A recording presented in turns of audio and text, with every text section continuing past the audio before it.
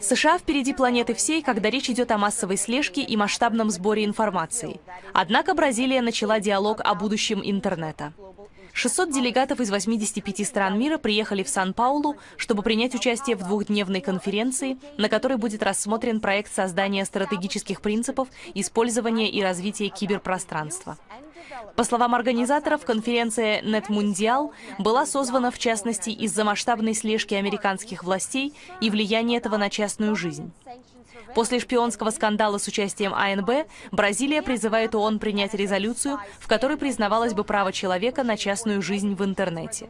Напомню, из документов, опубликованных Эдвардом Сноуденом, стало известно, что АНБ следила за властями Бразилии, включая президента страны Дилму Русов.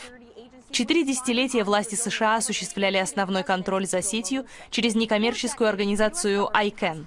Она отвечает за регистрацию доменов верхнего уровня, поддержку системы доменных имен и управление корневыми серверами сети, содержащими DNS-данные.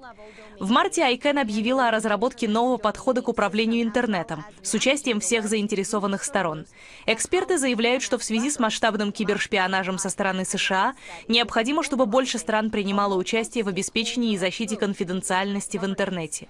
Конференция NetMundial началась с переговоров между США и другими странами по контролю над интернетом. Ожидается, что одним из ключевых вопросов станет принятие мер против слежки.